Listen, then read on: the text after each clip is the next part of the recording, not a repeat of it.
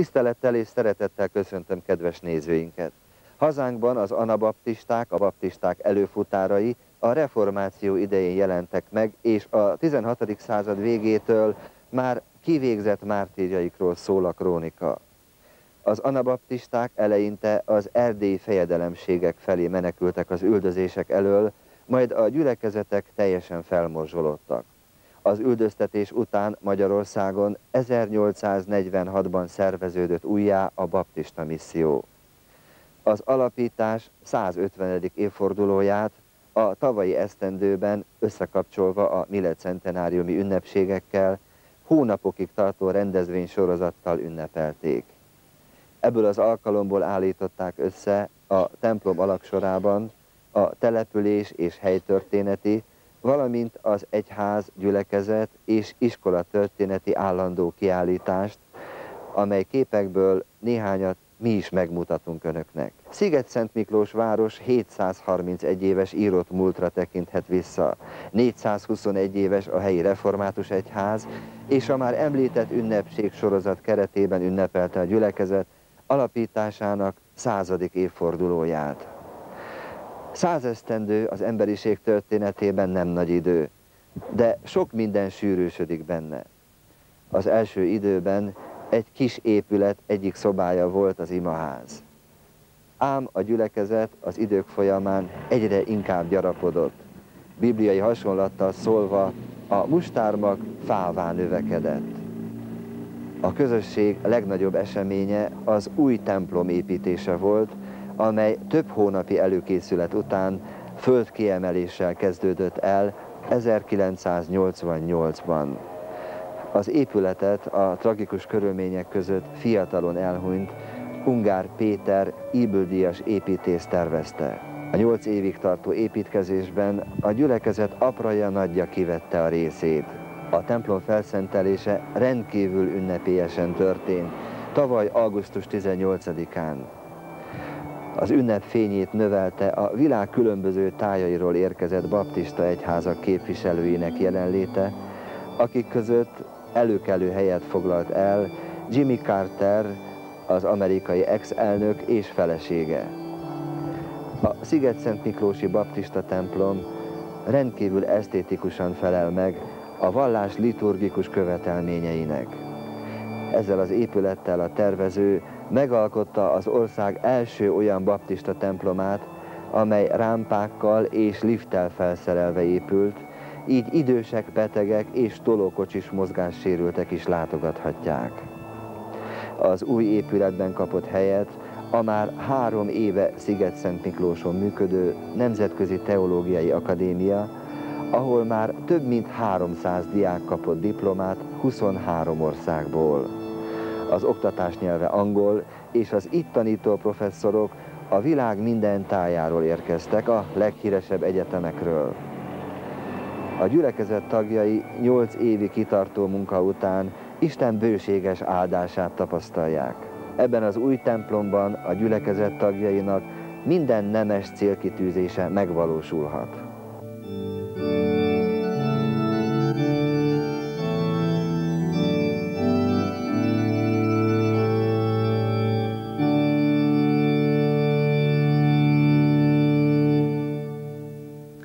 Imádkozzunk, testvérek! Menjei édesatyánk, hálás a mi szívünk azért, hogy a Te kegyelmedben élhetünk az Úr Jézus Krisztus által. Köszönjük ezt a mai szép vasárnapot. Szeretnénk a Te dicsőségedre szolgálni, akár hirdetjük az ígét, akár hallgatjuk. Szeretnénk, ha mindaz, ami közöttünk ezen a mai napon történik, valóban nem magunkért, hanem értett történne, hogy valami módon azt a fényt, amit tőled kaptunk, sugározhassuk mások felé. Hallgass meg bennünket, kérünk, és légy jelen a mi Isten tiszteletünkön. Ámen.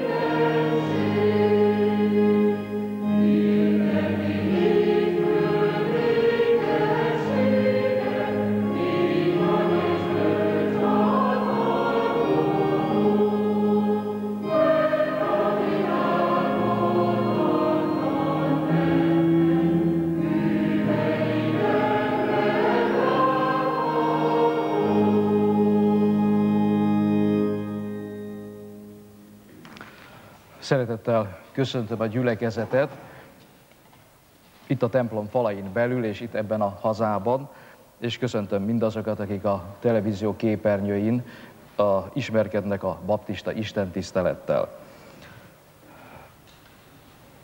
Egy néhány percig a háladásról szeretnék szólni, és kérem, hogy ne kapcsolják ki a készülékeket. Talán olyasmit is tudunk ezen a mai délelőttön mondani, ami mindjájunknak fontos, attól függetlenül, hogy ki milyen felekezett tagja, vagy egyáltalán van-e valamiféle vallásos meggyőződése. Amerikában és Kanadában a hálaadás napja nemzeti ünnep. Talán mindjárt tudjuk, hogy 1620-ban, amikor egy híres hajó, a Mayflower kikötött, azokkal a skóciai menekültekkel, akik 102-en voltak a hajón, Indián földön nagyon nehéz körülmények között próbálták megvetni a lábukat, és készülve az első télre bogyókat gyűjtöttek, gumókat gyűjtöttek, hogy valami módon átvészeljék a várható nagy telet. Ennek ellenére tavaszra 52-en maradtak ebből a kis csoportból.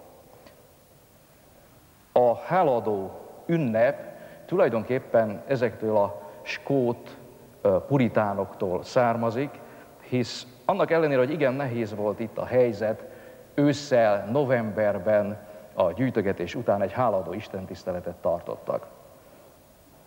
A háladás a Szentírásban egy igen fontos téma, természetszerűleg hálát adunk minden olyan dologért, ami nekünk áldásként érkezik Istentől, a keresztény ember alapvetően mindent áldásnak tekint.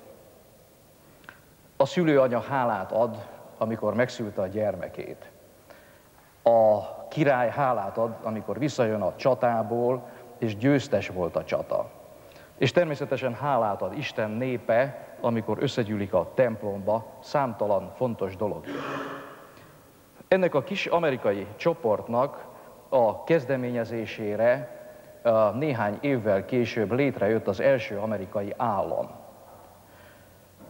Rhode Island első kormányzója az a pap lett, akit egyszerűen csak istenes papnak hívtak, Roger Williams, aki néhány évvel később az államalapítás után fölépítette az első amerikai baptista templomot. Az ő elvei közé tartozott, sokan úgy tudják, hogy ő volt az, aki először megfogalmazta azt a gondolatot, hogy szabad államban szabad egyház. Ez egy fantasztikusan fontos eszme. Úgy gondoljuk, hogy enélkül, az eszme nélkül ma sem lehetne igazában sem egyházi, sem társadalmi életet élni. Roger Williams szobra megtalálható az amerikai kisvárosban, Rhode Island fővárosában, és megtalálható a Genfi reformációs emlékművön. Ha Genfben járunk, érdemes ezt az emlékművet megkeresni, hisz különösen mély hatást tehet ránk, hogy a nagy reformátorok sora után három szobor következik, Roger Williams, Cromwell és Bocskai.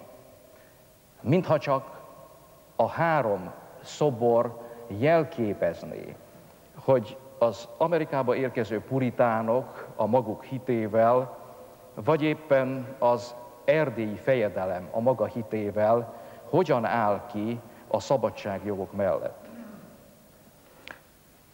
A háladás akkor jó, ha spontán és őszinte.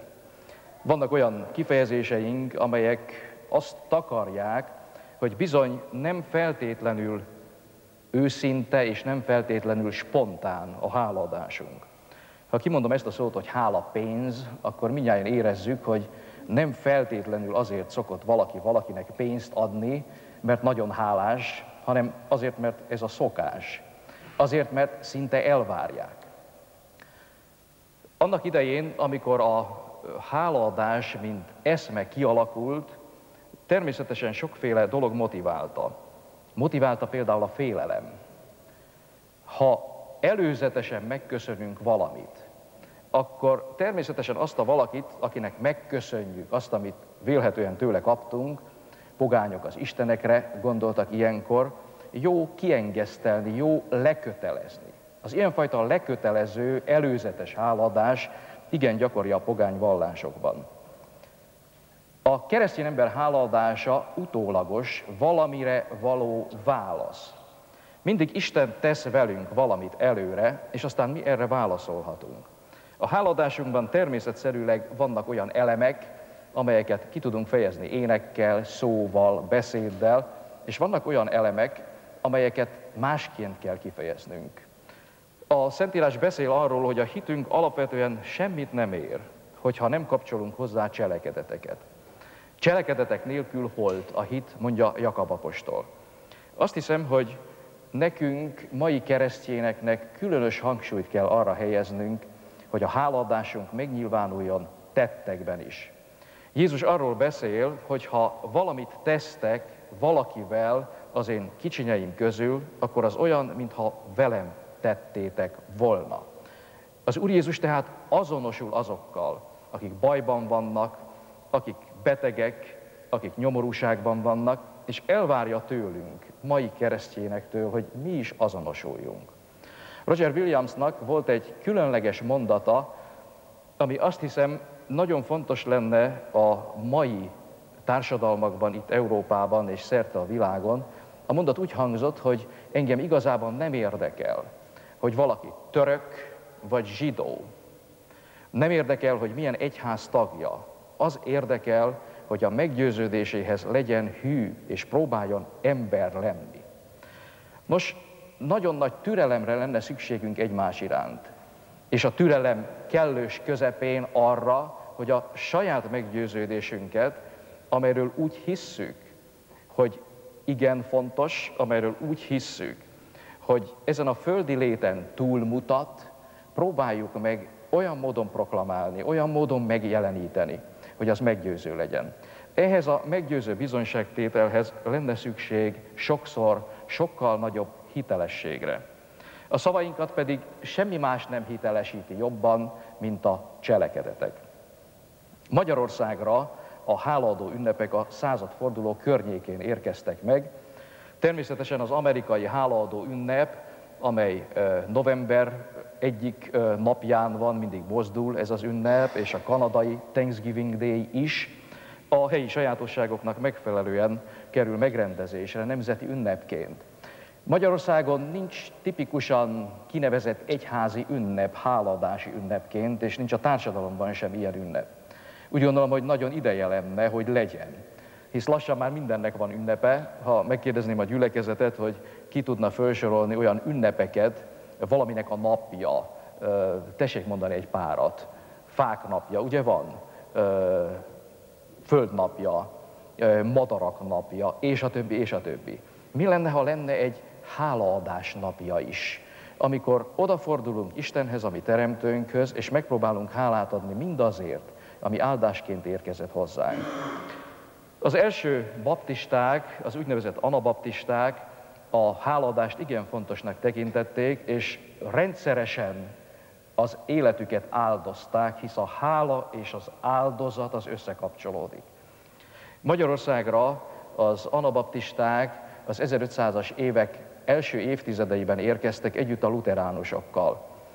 Az első anabaptista mártír 1540-ben halt meg a fölvidéken, Krasznahorka várából taszította le a várkapitány, mint egy ítéletként. Fischer Andrásnak hívták, ami cserkész csapatunk róla kapta a nevét. Nos, Fischer András az életét áldozta az eszméért, a Jézusi hitért és a szabad gondolkodásért.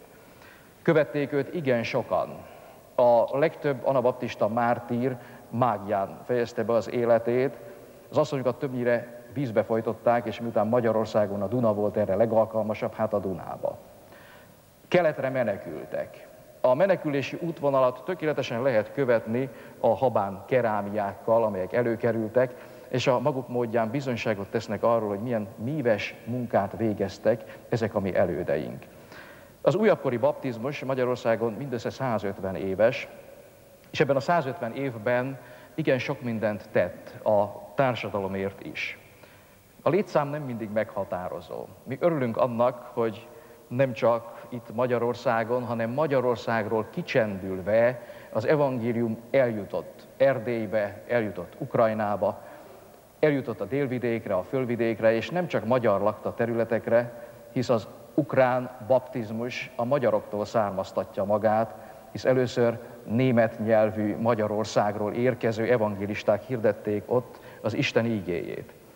Nos, a hálaadó nap tehát a baptistáknál egy tradíció. Ősszel, amikor beérnek a gyümölcsök, amikor azokért a dolgokért hálát lehet adni, amelyek kézzel foghatóan az Isten áldásai, nos akkor a gyülekezetek nem meghatározott napon, hanem bármikor az év során, valamelyik őszi vasárnapon hálaadó napot tartanak. Amikor most ezt a hálaadó napot megkezdjük, néhány kórusművel és egyebekkel szeretnénk színesebbé tenni, és kívánom itt a gyülekezetnek, és kívánom a nézőknek is, hogy na, egyszerűen egyfajta vallásos élvezetet nyújtson nekünk ez a nap, hanem jusson el hozzánk az Isten valóságos üzenete.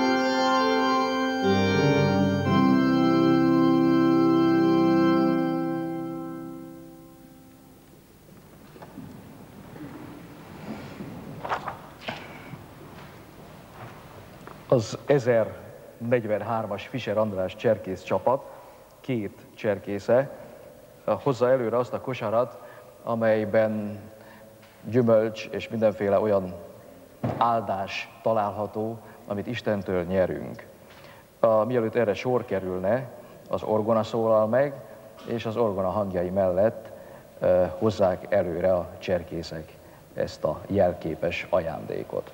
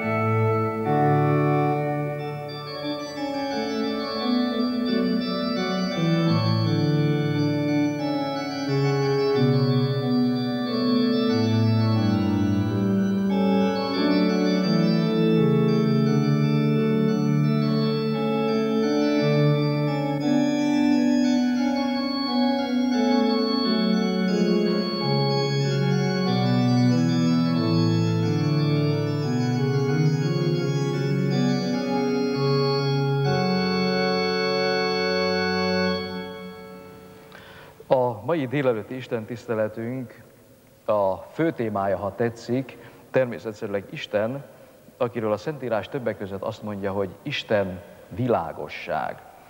Így néhány olyan szolgálatot fogunk most meghallgatni, amelyekben a fény fontos szerepet kap. Most az énekkar énekel, hogyha szép kedvesen fénylik a nap fönn az égen, akkor természetszerűleg a szívünk megtelik hálával. A 69-es Zsoltár alapján készült ez az ének. Hallgassuk meg!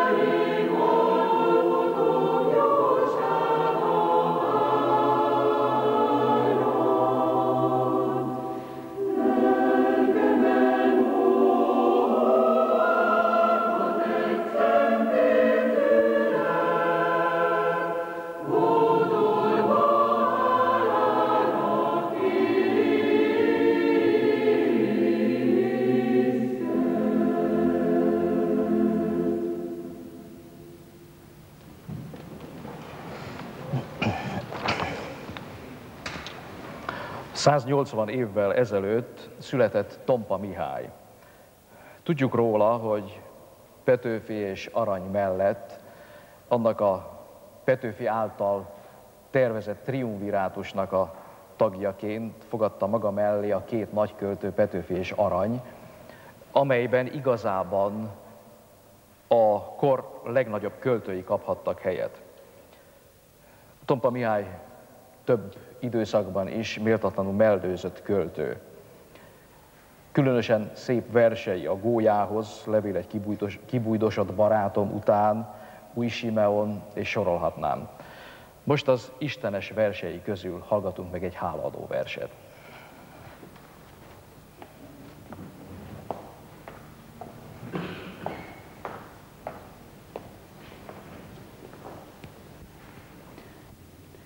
Tompa Mihály hála ének. Szálljatok fel a tiszta fénybe, áhítatom szent szárnyai. Ragadjátok lelkem az égbe, oda vonják őt vágyai. Ez új napon felvirattára, a szívem is hálára gyúl, s az ég felé szállt tiszta lángja, ahonnan fényt áraszt az Úr. Miként a napfény a világon szül és teremt új életet, úgy árad az Úr jóságából az áldás és a szeretet. A földet és lelkünk világát az ő szerelme tölti be.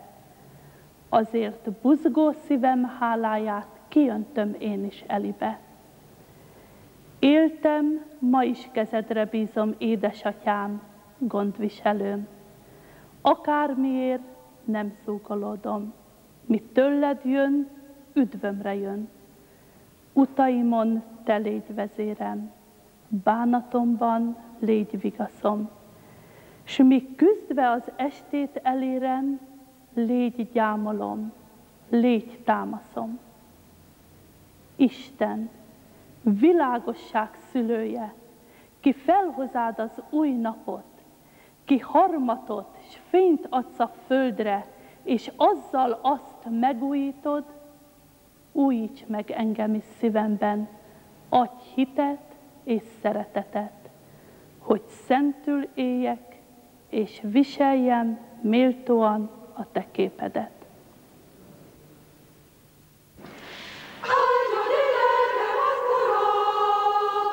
Ami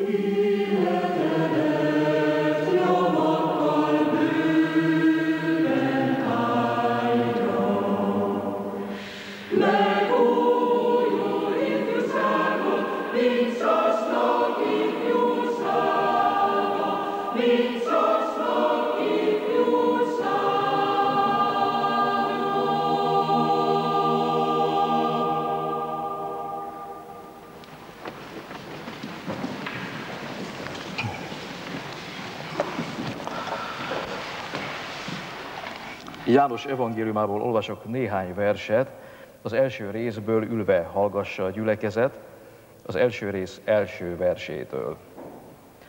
Kezdetben volt az íge, és az íge Istennél volt, és Isten volt az íge. Ő kezdetben az Istennél volt. Minden általa lett, és nélküle semmi sem lett, ami létrejött. Benne élet volt, és az élet volt az emberek világossága. A világosság a sötétségben fénylik, de a sötétség nem fogadta be. Eddig olvastuk az ígét.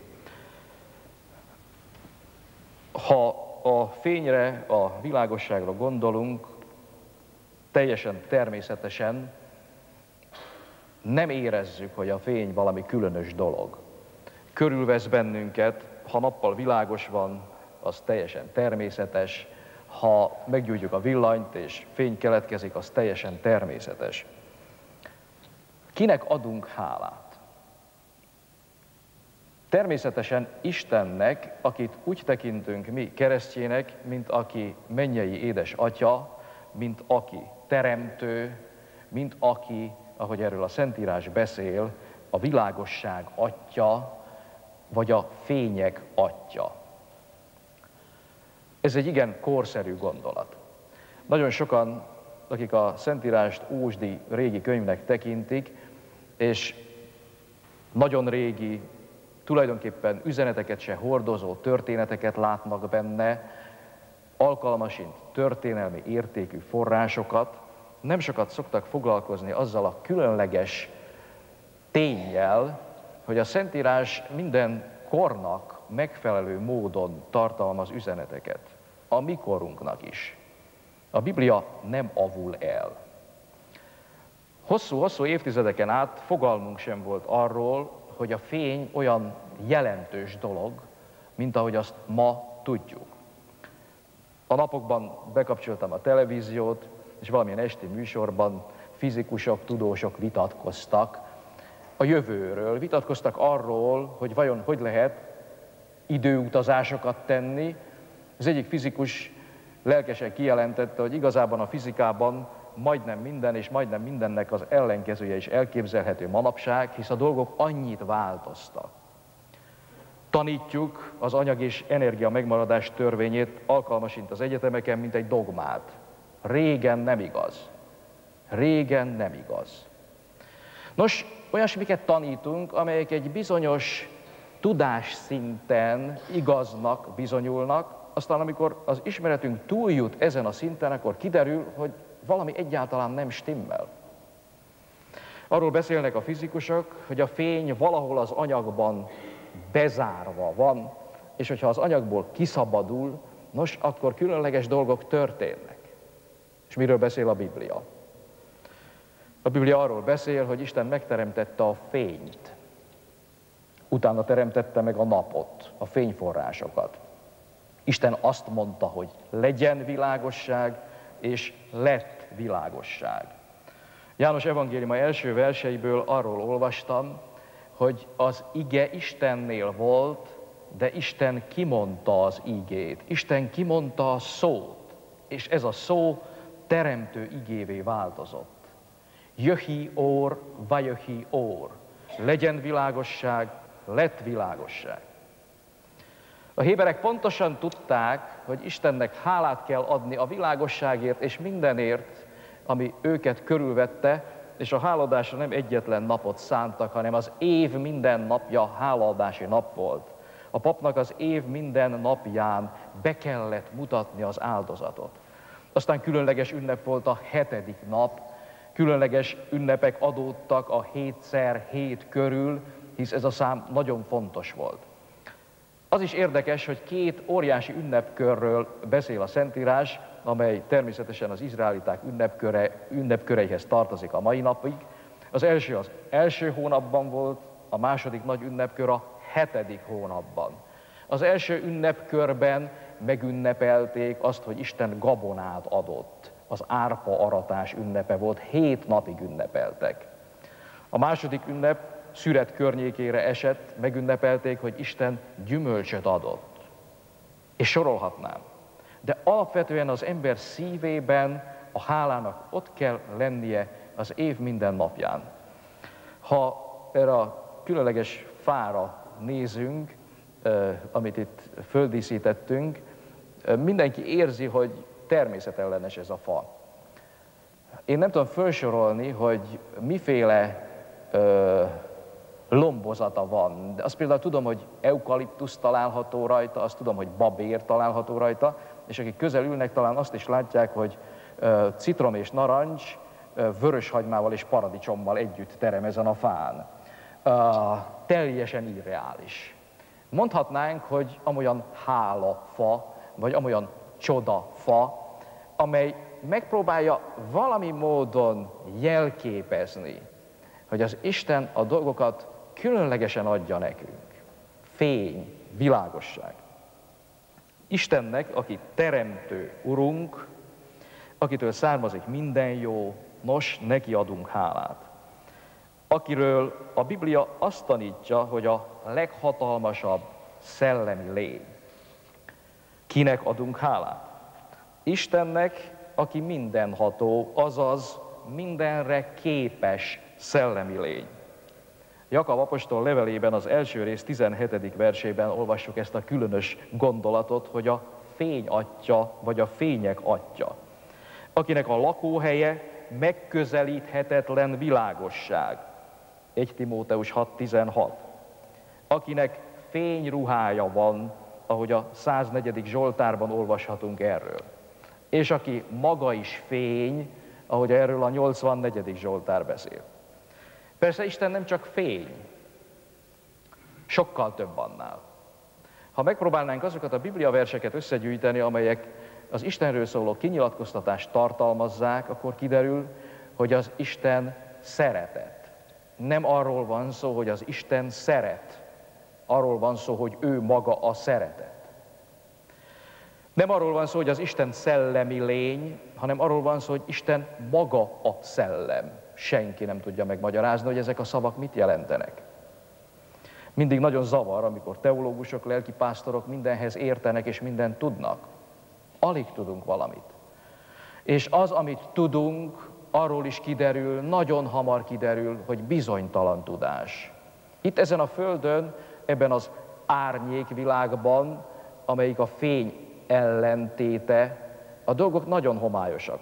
Pálapostól kénytelen úgy fogalmazni, hogy most tükör által homályosan látunk, és igazában azt se tudjuk, hogy mivé leszünk majd, de azt tudjuk, hogy hasonlóvá leszünk ő hozzá. János evangéliumában a harmadik rész 16. versét alapvetően minden keresztjén tudja. Úgy szerette Isten ezt a világot, a fények atya úgy szerette ezt a világot, hogy odaadta az ő egyszülött fiát, hogy aki csak hisz benne, el ne vesszen, hanem örök élete legyen. A Szentírásban az Úr Jézusnak az egyik neve hajnalcsillag. Ha belegondolunk ebbe a különös szimbolikába, hogy Isten a fény, a fények atya, Jézus Krisztus a hajnalcsillag. Mintha csak arról lenne szó, hogy valami módon az embert megközelíti Isten, és az a fény, ami hozzánk érkezik, valahogy már elviselhetővé válik. Hisz Isten fényét ember nem tudja elviselni. Az ember, aki árnyékba került. Mózes első könyvében a bűneset története erről világosan beszél. Az ember kénytelen elfordulni Istentől. Az ember érzi, hogy valamit elkövetett, valami olyasmit követett el, ami tragédia. Miért követte el? Mert valaki, aki nem a fényt hordozta, hanem a sötétséget hordozta, becsapta az embert. Akár azt is lehetne mondani, hogy a mi életünk fény és árny között zajlik. Akár azt is lehetne mondani, hogy a világosság és a sötétség harca az az élettér, ahol mi élünk. Azonban egyáltalán nem úgy, nem olyan dualista módon, ahogy alkalmasint bizonyos pogányvallások és mások is tanítják, akár filozófiák. Itt másról van szó. Mi az a más? Isten megengedi nekünk ezeket az árnyékos oldalakat, de folyamatosan azon dolgozik, hogy visszakerüljünk a fénybe, hogy világosságba jussunk. Természetszerűleg a sötétben a dolgok nem látszanak úgy, mint a fényben. Itt ez a terem most jól ki van világítva a televízió jóvoltából. És én azt hiszem, hogy mindjárt érezzük, hogy ez egy kicsit irreális fény. Ez egy kicsit irreális fény. Mennyivel inkább észre lehet venni dolgokat a nagy fényben, a reflektorfényben, mint egy homályos szobában. Hogy egy szoba ki van takarítva, vagy nincs kitakarítva, azt igazában akkor lehet jól látni, ha besüt a nap az ablakon. Még a mozgó porszemeket is tökéletesen látjuk a levegőben, nem is beszélve arról, hogy az asztal poros. Nos, Isten szeretne a maga fényével bevilágítani a mi életünkbe. És szeretné, hogyha a mi homályos sarkaink, amelyek talán soha nem voltak igazán rendesen kitakarítva, fényt kapnának, hogy először észrevegyük, hogy gond van velünk. A gond az a bűn. A Szentírás arról beszél, hogy ha azt mondjuk, hogy nincs bennünk bűn, ha azt mondjuk, hogy mi tökéletesek vagyunk, akkor meghazudtoljuk az Istent, akkor az igazság nincs meg bennünk. Itt nincs közöttünk senki, aki ne lenne bűnös. Én is, és mindenki. És nincs ember, aki ne lenne bűnös. Nos, Isten úgy szerette ezt a világot, hogy elküldte az ő egyetlenét, hogy fény legyen. Elküldte hajnalcsillagot hogy hozzon nekünk valami különös fényt. És ő nem egyszerűen bevilágított, mondjuk egy reflektorral a földi világba, hanem elénk élte a tiszta életet. Példát adott. Természetesen ennek az lett a következménye, hogy megölték, hisz a sötétség nem szereti a világosságot. Nem szabad azonban elfelejteni, hogy a fény hosszú távon legyőzi a sötétséget. És az a Jézus, akit nagypénteken megöltek, nos, az a Jézus húsvétkor dicsőségesen és fényben támad föl. Tessék arra gondolni, hogy amikor Jézus a földre jött, karácsonykor megszületett, miféle égi jelek követték, vagy miféle égi jelek vezették be. Keletről mágusok, bölcsek, igazában csillagjósok érkeznek, mert pontosan le tudják fordítani a tudomány nyelvéről a mindennapok nyelvére azt az égi üzenetet, miszerint olyan csillagok állnak együtt, amelyek arról szólnak, hogy Palesztinában megszületett az utolsó idők nagy királya. És a másik király, a Rómát jelképező Mars, az most úgy visszavonulóban van. Különös üzenet. Jézus születésének az üzenete. Aztán nagypénteken gyászol az ég. Nincs fény, sötét lesz. Isten nem egyszerűen fény, sokkal több annál. De azt hiszem, hogy ez a gondolat, ami a Szentíráson végig vonul, igen alkalmas arra, hogy föltegyük a kérdéseket magunknak, vajon hogy állunk mi a fényjel? Hogy állunk mi a világossággal? Szeretünk világosságban lenni, vagy inkább a sötétséget kedveljük? Manapság, amikor ebben az országban alig múlik el hét, hogy valahol ne történjen egy-egy robbantás, manapság, amikor ebben az országban éppen úgy, mint akárhol a föld bármely vidékén, a terror olyan mértékben nő, ahogy azt látjuk, igen fontos lenne a fénynek nagyobb teret adni.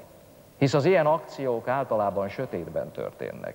És általában a bűn az a sötétséghez kötött. Úgy szerette Isten ezt a világot, hogy elküldte az ő egyetlenét, hogy megváltsa a világot. Hogy aki csak hisz benne, annak örök élete legyen. Mi az örök élet? A Szentírás, amikor a mennyek országáról beszél, az egek országáról beszél, tulajdonképpen egy távoli fényországról beszél. Úgy tűnik, hogy a dolgok lényege, a dolgok alapja a fény. Hogyan lehet túlélni ezt az életet? Hogyan lehet átjutni egy másik világba, ha tetszik, a fény világába? Azt hiszem, hogy elsősorban nem időutazásokra van szükség. Elsősorban nem a fizika által ma megérthető, vagy reálisnak elfogadható téridőn túli utazásokra, valami másra.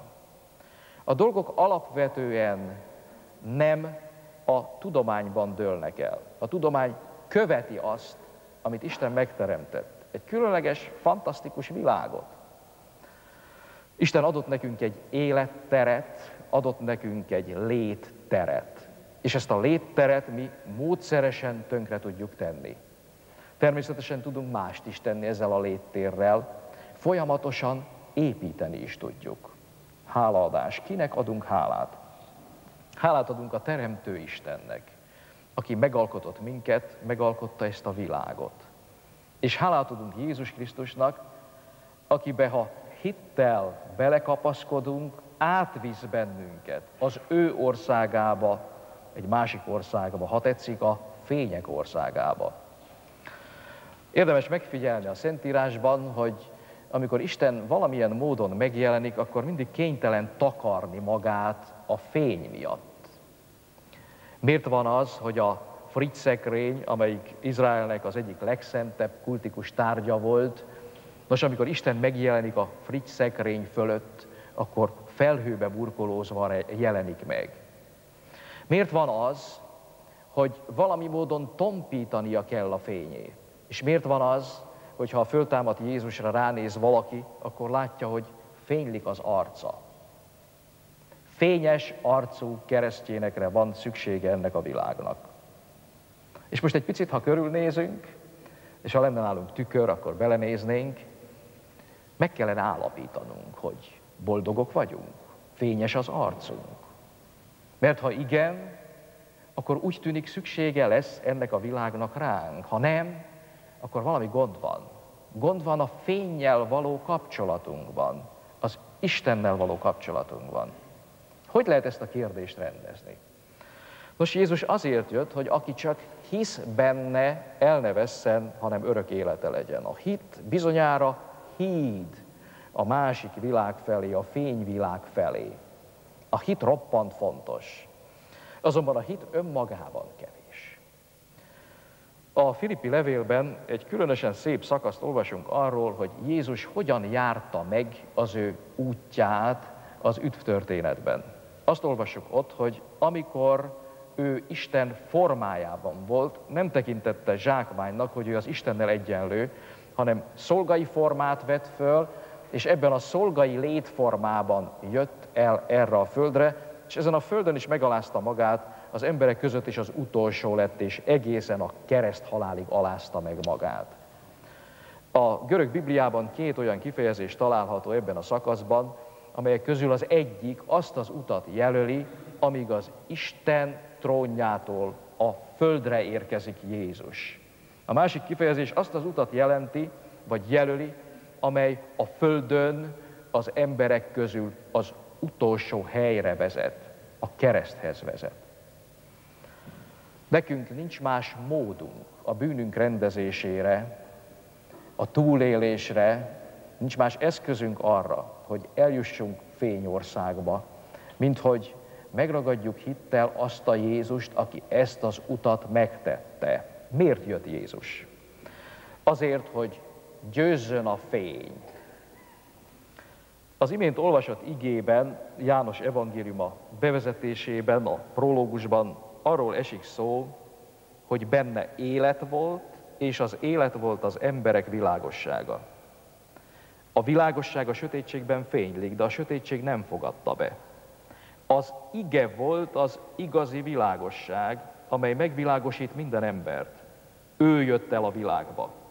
A világban volt, és a világ általa lett, de a világ nem ismerte meg őt.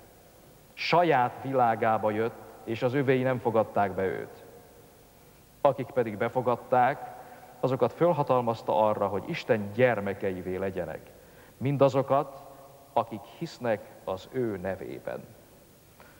Nos, mi a vége ennek a gondolatsornak? Akik befogadták őt, azoknak hatalmat adott arra, fölhatalmazást adott arra, hogy az Isten fiai legyenek. Nem egyszerűen fiak, gyermekek, hanem örökösök is. Akik a hittel bele tudunk kapaszkodni Jézus Krisztusba, aki az életét adta értünk, azok gyermekeivé válunk az Istennek. Családtagokká leszünk. Valami fantasztikus dolog ez. Ezen a földön, a jelenlegi testi létformában a másik létformához tartozó, a mennyei szférához tartozó Isten családjába kerülni. Fizikusok, tudósok sokat beszélnek manapság arról, tulajdonképp évtizedekkel ezelőtt megsejtették már, hogy ez a mi világunk úgy, ahogy van, ez a téridő anyagvilág úgy, ahogy van, mintha egy mellékterméke, mintha egy kicsapódása lenne egy másik világnak. Egy olyan szellemi világnak, amiről alig van ismeretünk, hisz nem tudjuk, hogy milyen, de azt tudjuk, hogy van. És azt is tudjuk, hogy az élet nem olyan egyszerű, hogy leélünk 50, 60, 70 évet, és aztán vége.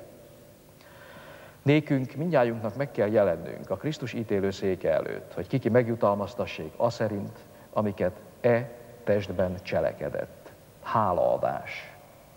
Hálát adunk Istennek, az Atyának, aki elküldte Jézus Krisztust azért, hogy nekünk életünk legyen.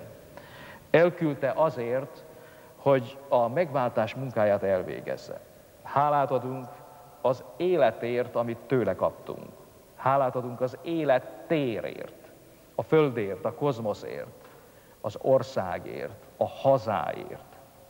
Hálát adunk az élet feltételekért, az ételért, az, iha, az italért, a ruháért, a házért, az otthonért. Hálát adunk a családért, egymásért, a gyermekekért, a szülőkért, a nagyszülőkért. Hálát adunk a gyülekezetért, az egyházért. És hálát adunk a bűntől való szabadulásért, Krisztus által, a kegyelemért. Van egy különös szó a Szentírásban, mindjárt ismerjük, eukarisztia. Az olyan kifejezések a görög nyelvben, amelyek ezzel a pici előtaggal kezdenek, hogy kezdődnek, hogy eu, ez a szó azt jelenti, hogy jó, az utána következő szónak a fölfokozását jelentik. A karis azt jelenti, hogy kegyelem, azt jelenti, hogy jókedv, azt jelenti, hogy vidámság. Jó kegyelem, kellemes közérzet, ha tetszik. Az eukarisztia jelentése a hálaadás.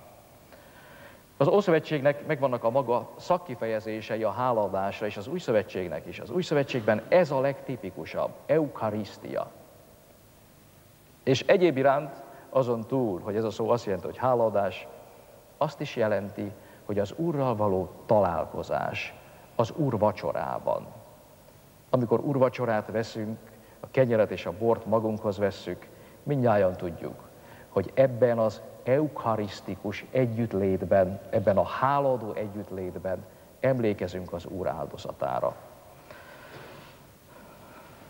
Vannak-e kérdéseid? Ha igen, nyisd ki a Bibliát. Ha nem érted, keres valakit, aki megmagyarázza.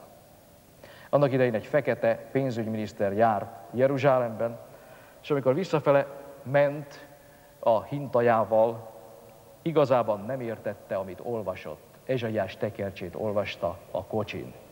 Aztán egy evangélista, akit a Szentlélek küldött oda Fülöp, mellé szegődött, és megkérdezte tőle, hogy érted-e, amit olvasol. Azt válaszolta ez a fekete, hogy érteném, ha senki nem magyarázza meg. Aztán fölült mellé, és megmagyarázta. Ilyen fülöpökre lenne szükségünk, akik hajlandók arra és képesek arra, hogy értelmezik, megmagyarázzák nekünk az ígét. Adja meg nekünk a kegyelem Istene, hogy mi magunk fényben éljünk, hogy az eukarisztia, a hálaadás jellemző legyen ránk. És hogy az a hálaadás, amit mi Isten felé bemutatunk alkalmasint áldozatként is, meghozhassa a maga gyümölcsét, hisz Isten mindig áldással fordul a hálaadók iránt. Ámen.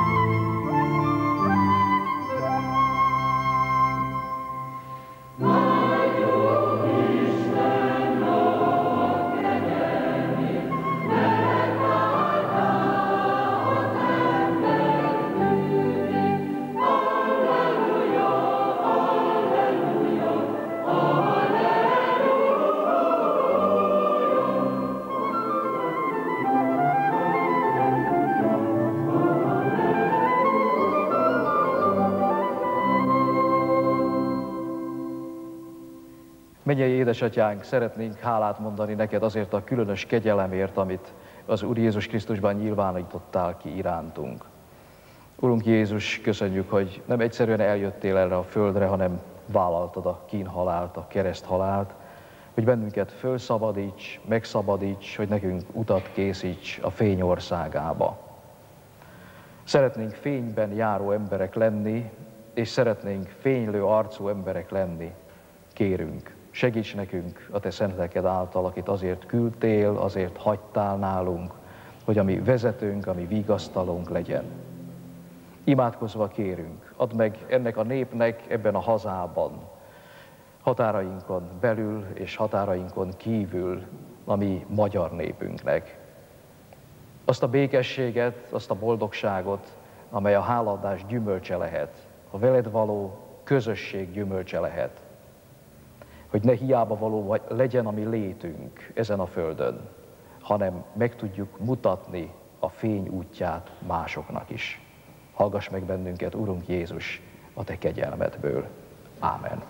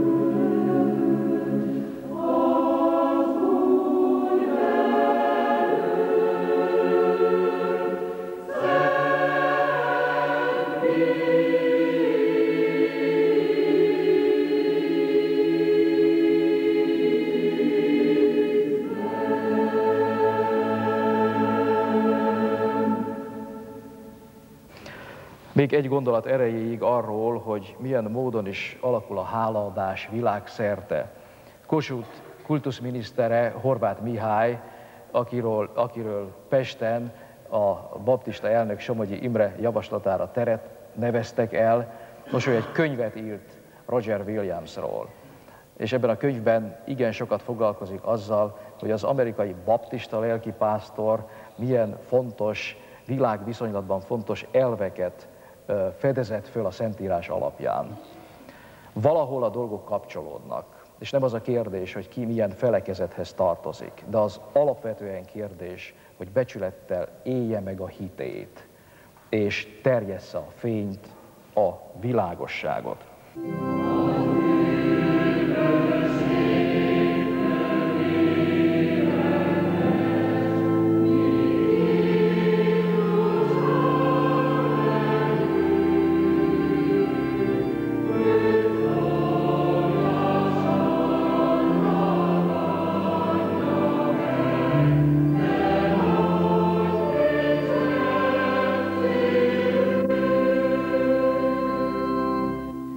Végezetül, ami Urunknak, az Úr Jézus Krisztusnak kegyelme, mennyei atyánk szeretete, Szentlélek közössége legyen és maradjon minnyájunkkal, most és mindörökké.